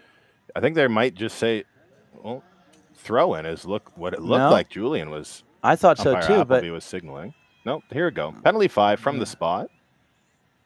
Looks like Wana will get that was just one. weird, wasn't it? It was yeah, just a bit of a weird. Yeah, maybe I don't know if they were talking to the third man about it. Either way, penalty five from the spot, and it's what we assumed was going to be the call here. So just behind midfield, at going for it.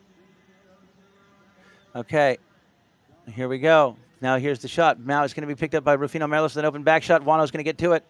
Britos takes this ball with him. He's got uh, Peke keeping an eye on him. Peke looking to do some poaching right here if he can, but here comes Jason to lay the pick. Now it's going to be Britos still with that ball. Britos takes it for. Uh, yeah, yeah, wow. Well done. What a play right here. By Britos gives it back over to Ulloa. Now Nero comes in. Now it's going to be Jason Waits with Adolfo Cambiaso. Wow. Okay, there again. Let him play. All right. Adolfo takes off with it. Adolfo Cambiaso working back down the field here. Adolfo looking good. Now Adolfo comes back around. Adolfo puts it back. Oh, he put it there. I don't think you'll see a whistle on that one. Now it's going to be picked up again here by Rufino Merlos. Look at this young man right here. One goal, going to three. Rufino started off this year as zero goals. Gets his clock cleaned right there by Ulloa. Ulloa with the back shot. Britos comes up with the play, takes it forward. Wano taking it across the field right now. Wano, he's going to get his throat cut there by Peke, who takes it forward again. Peke comes back to the ball on his offside. Going to get away from Britos. Runs the turn back around. Now he's going to hit the next shot here. And it'll be picked up by Nero. Augustine Nero on borderline. Can't get the ball under control. Loses that play there to Bre- to Ulloa, and he takes off running. That's a clean play right there. A high goal play by uh, Hilario Ulloa, and he is out in front. But we know borderline can run. Borderline is going to catch him right here. He, here he goes. Wano, or excuse me, Agustin Nero trying to get to Ulloa. Ulloa fires, and that's the first chink in the armor we've seen from Ulloa all day. Shooting at goal, it goes wide over the back line. We still have another minute and a half to go here in Chukker number three. Well, credit Nero there, never giving up on the defense, pressuring Ulloa for the miss. We may get a timeout here. Yeah. Jason's asking for it. And that's a, a long chukker there on JP Borderline as yeah, well. Yeah, really, right? But we do have an all made change here. Here's the replay. Look at that. Well done. He got there. Yeah, just a little bump as Hilario was shooting. You can see hand on the head. Hilario a little upset with himself. You know, ah, you know, it's funny, Cody. When I was down there with both teams before the game started, I was thinking that I would see these guys. They would all be like intense, like focused, like quiet, like you know, in the zone. Every both teams, both teams, they were all smiling. They were having fun. They were loosening up. I mean, they're they're so happy to be here. They're like the best in the world in in the finals of the the biggest tournament in North America, one of the the biggest tournaments in the world. And everybody in here, they're they you could tell they were like in the moment, having a great time, not not like focused and, and all that kind of stuff. Here comes the pass from Adolfo back over to Peke. He hits it down here, and now it's going to be Rufi Merlos to pick up this ball. Oh, Rufino drops it there. Next one to get to it. Peke back on that ball. Looks like it's going to be Ulloa here to come up with the play. He takes the hit. Peke shot towards the goal, and it's going to be Jason. And another back shot right there. And now another quick back shot here from. Uh, we get a whistle on the play. Well, Valiente was looking for a foul there. Three times. Wano took that back shot. And here's some intensity from these players. You love that. And I'm wondering if Wano comes across on the back shot here. Comes in. Here's a bit of yeah, good call, umpires. That's a great call right there. Nero jumps on the line, draws the foul. Penalty number two, it looks like here. Going to take it from the spot as well. So Peke missed a penalty shot earlier in this game, a penalty two. This one's a bit closer, though. Peke, no trouble this time. He sends it straight on through, breaks the tie, takes back the lead, and makes a score six to five, with maybe enough time for another throw in. I think we should have enough time for at least one more throw in, actually, now that I look at it. Okay, so that's Peke's first goal of the game. He had one earlier from the field. Did I miss one? You're right. Yep, he sure did. I missed one there. Yeah. Now Nero wins the throw and takes off running right here, but Ulloa is going to take the ball after he takes out Nero.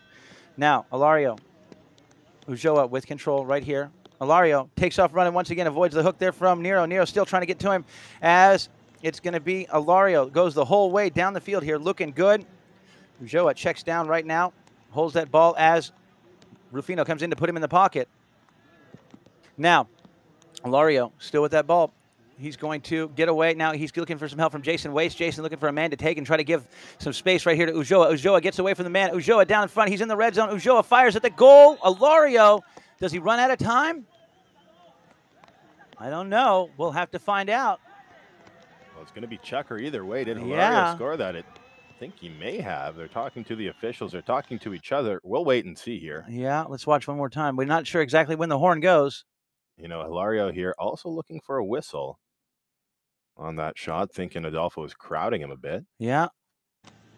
One well. Okay, so it doesn't look like there's going to be a, a whistle right now or a, a goal as of right now. We'll find out though after this. Remember, we take a longer than normal halftime. It is a feature game of the of the year.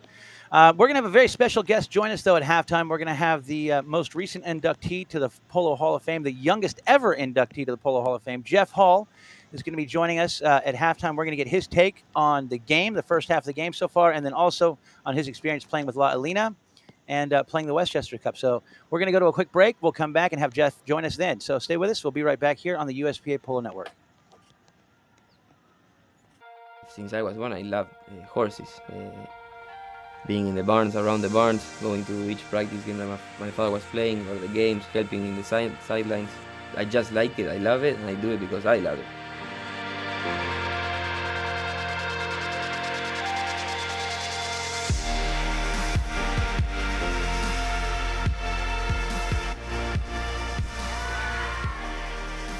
Winning the, the US Open with uh, Scott that, that year was was amazing. I obviously was a little nervous at the beginning because I didn't know how many times I was gonna be able to to, to live that, no, to be able to play with Adolfo and Poroto in the same team and be on the finals. I was like really nervous and obviously I wanted to win it. It was a great feeling to be there, but at the same time, I remember the first track that I did horrible because I was a little nervous. Sí, perdón, me estoy mirando el pie. Pensando en qué van a. Tranquilo, uno grande. Dale, ¿Eh? dale. Coming back to help out now. It's going to be Peke to take out Matt Coppola and then pick up the ball. Looking good. He's down in front. He's in the red zone. But then as the game went on, you kind of lose the that feeling and you start playing the, the game and uh, going back to to to that moment uh, when we finished the game. Uh, I remember jumping off the horse and hugging with my father for a long time. I think he was crying. And we stayed there for a while.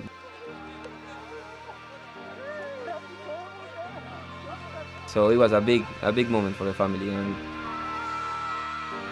for myself also. I was, it was my first U.S. Open final to be able to win it with them, with that team. It meant a lot, and so it was amazing.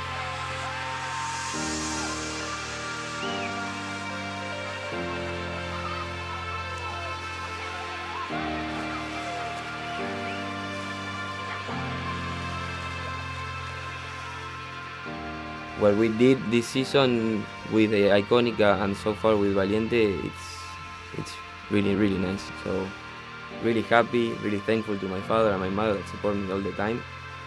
And uh, keep on working and, and aim for the U.S. Open now that it's uh, the last one and the most important one.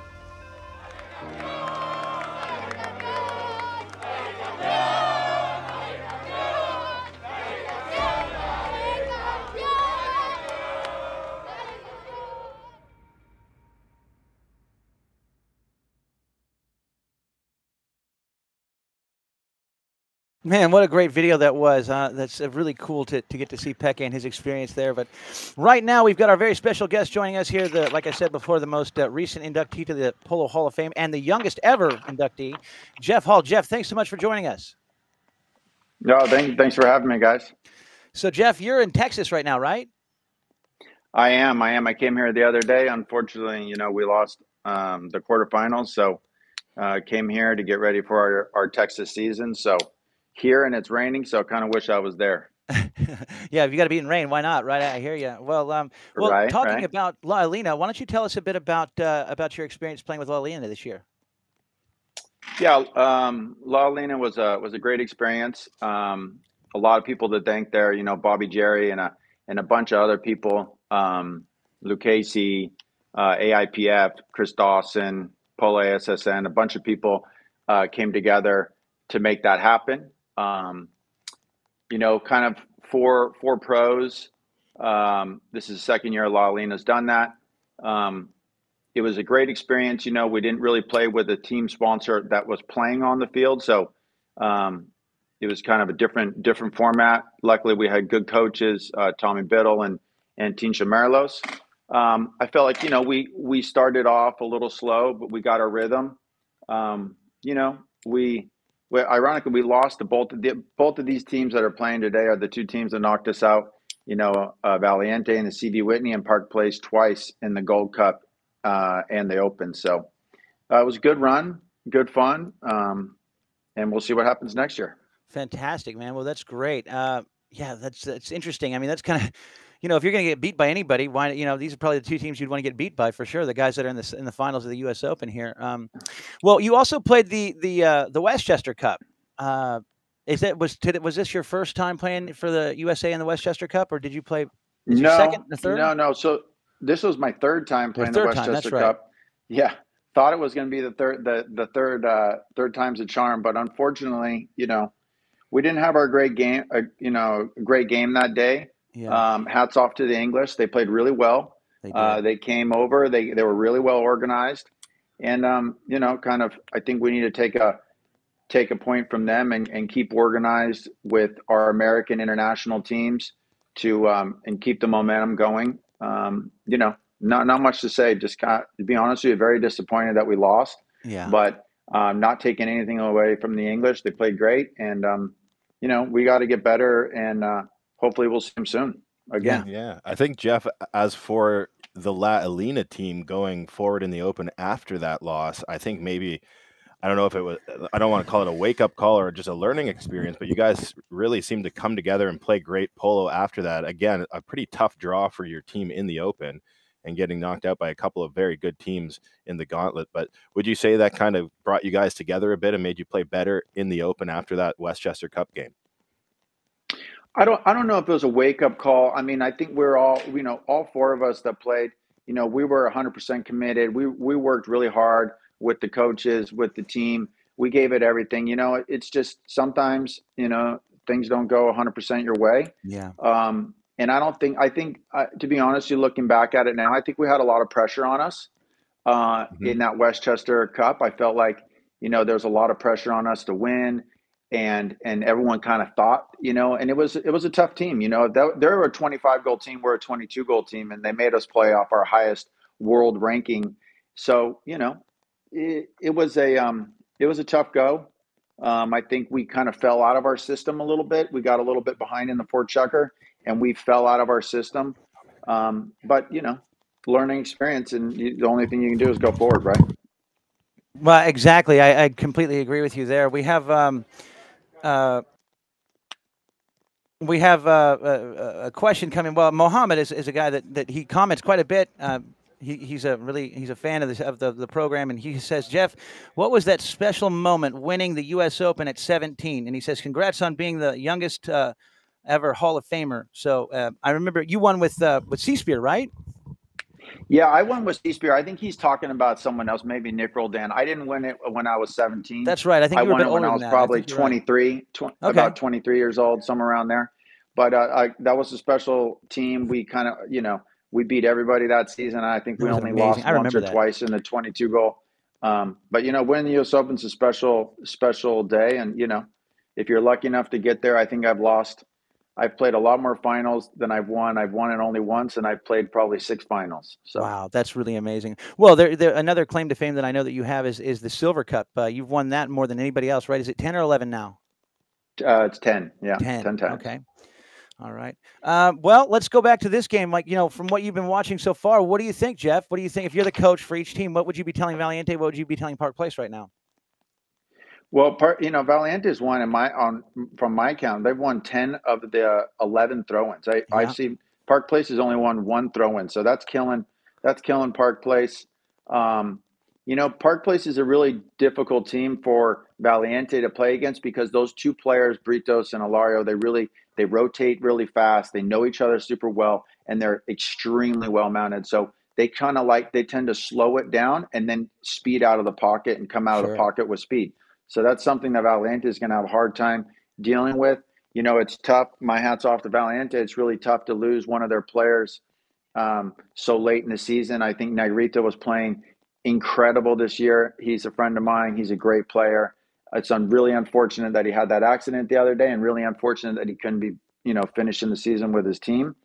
But um, you know, Adolfo's the goat, man. He he put together a you know a good scrappy team here, and and Rufino's really good. So you know, Park Place is gonna is gonna try to to um, extend the game and and and move the ball because they've got four players that are good with the ball, and Park Place is gonna try to slow it down and kind of come out of the pocket with Hilario and Brita. So I don't know, it's a tough one. Yeah, very much so. All right. Well, do you have a do you have a prediction on who you think's going to be able to, to pull it out in the end?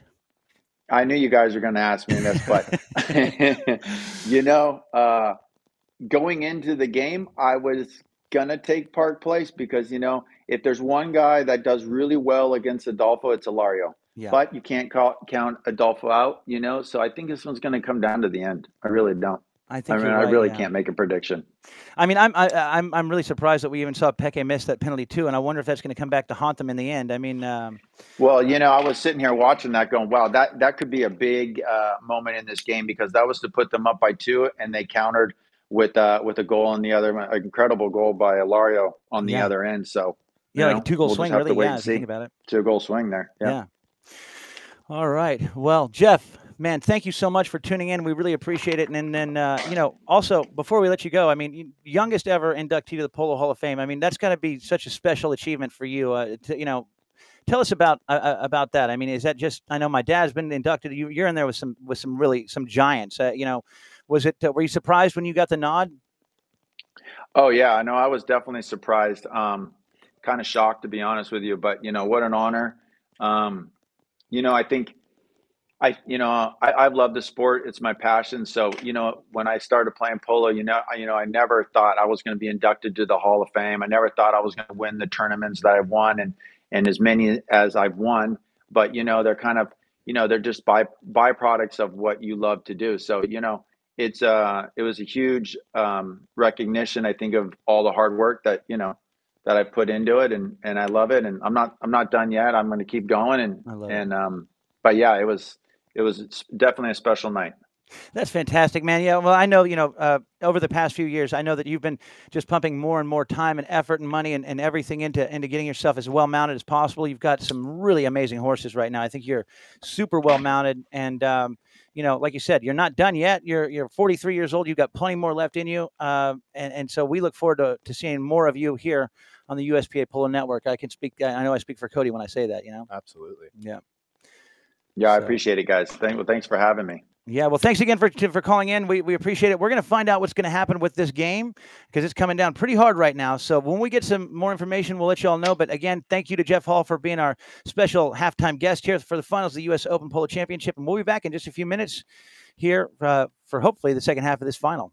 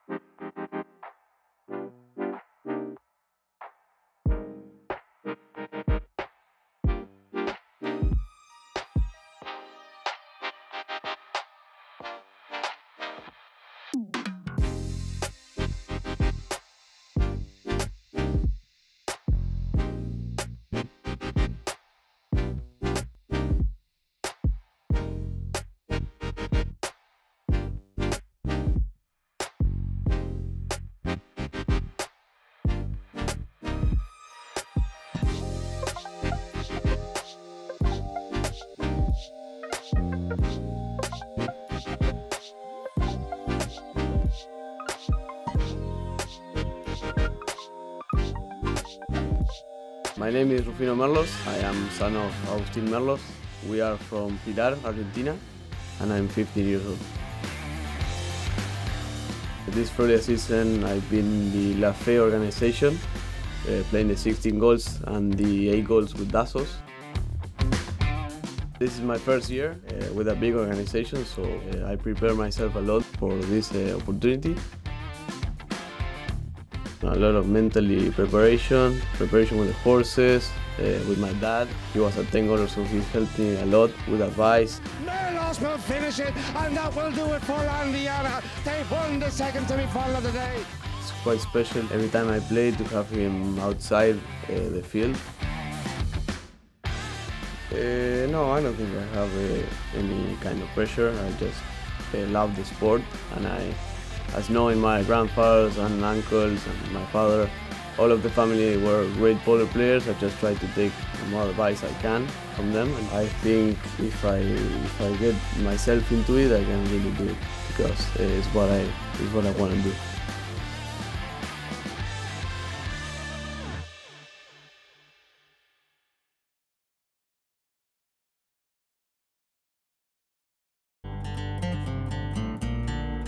I play polo all around the world, but uh, Wyoming is one of my favorite places to be in the summer. The way we play here, you know, makes makes the polo really fun for everybody. These fields are amazing. I don't think you can see any any field like this in, in the summertime. Any level of polo can be played on them. It's just one of the better programs in the country for sure. You know, I can't I can't think of another program that would compare to compare to the Flying H. It's a great country for, for green horses and breeding. You can play greener horses, everybody's going to respect you. This part of the world is probably the best ever for raising horses. It's all the same in building a happy, competitive polo pony. And the weather is, is amazing. It's just a beautiful country out there with no shortage of things to do. This will be the best place you're going to find for the summer, surrounded by the best people.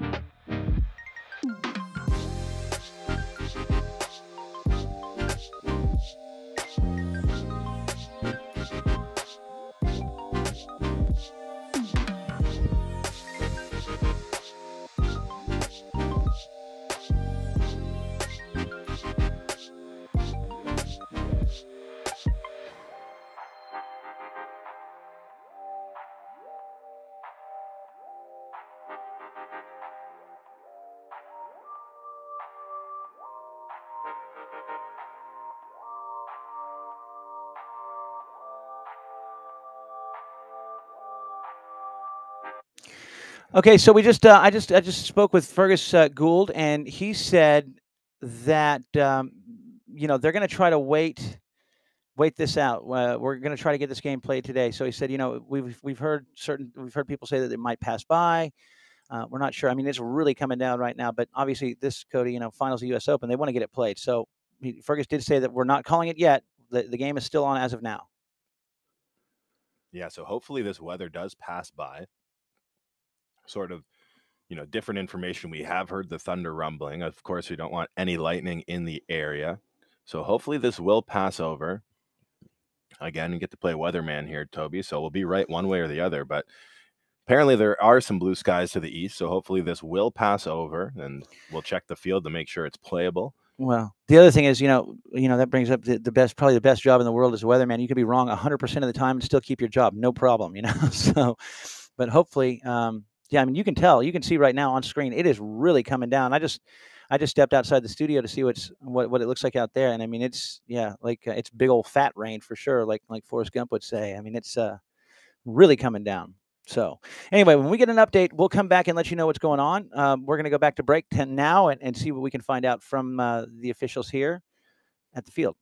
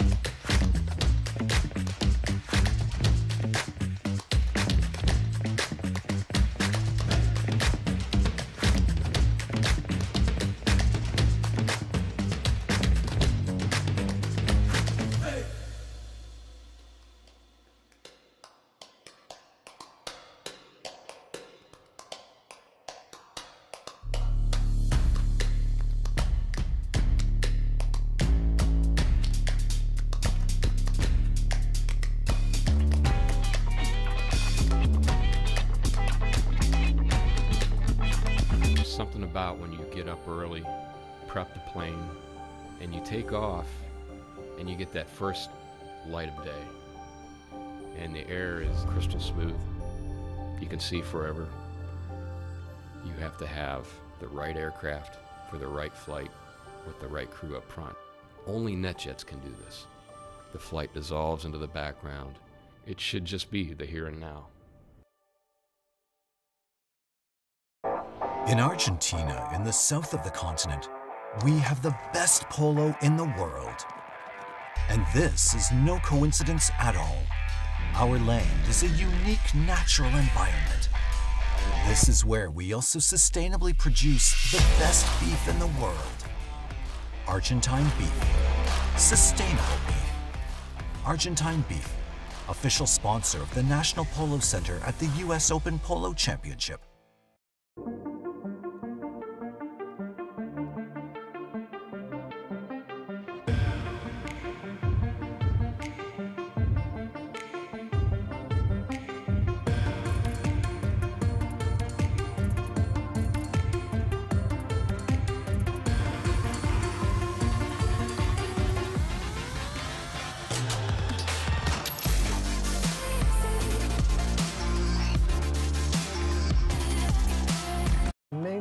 Philosophy of Centennial Partnerships is to mitigate risk through diversification, and that includes a group of horses and a group of people.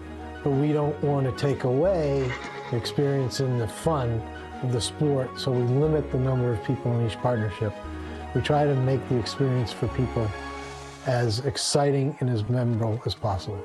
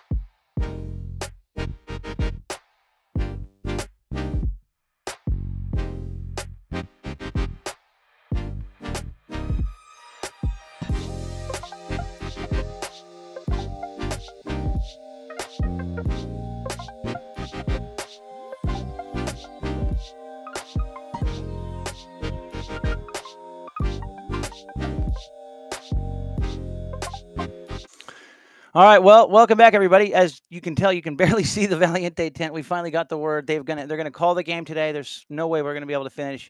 We don't have a, a, a, a, a we don't know when they're gonna reschedule the game just yet, but um, Sort of feel like a kid on Christmas with an empty stocking right now. For now. real, Toby. right? We're gonna have to reschedule this final, like Toby just said. No call yet, of course, with this weather on exactly when we're gonna get this game played. So keep your eyes peeled on social media as well as uspolo.org.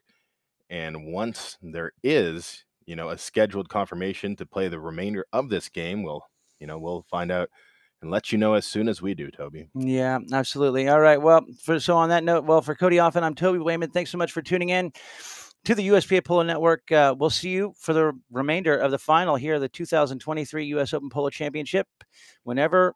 Whenever we decide, whenever they, they can get it scheduled here, because with this much rain, I would imagine, I know they'll try to play it tomorrow, but if not, maybe Tuesday. So, like Cody said, keep up with the social media, and we'll see you then.